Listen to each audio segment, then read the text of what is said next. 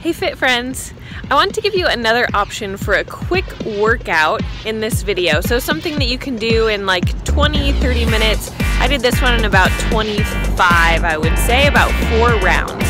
So this one though is primarily focused on upper body. A lot of great high intensity workouts are based a lot in the legs because there's a lot of jumping and running and sprinting and things like that. So your legs can get really overworked and tired, which is how mine feel today. So I did a primarily arm workout with a little bit of abs and core in there.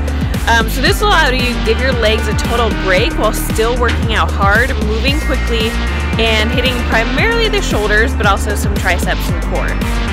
So try this one out. Let me know how it goes. And if you have any other ideas or comments, please leave them down below. So good luck with this workout and good luck on your fitness journey. I'll see you here again soon.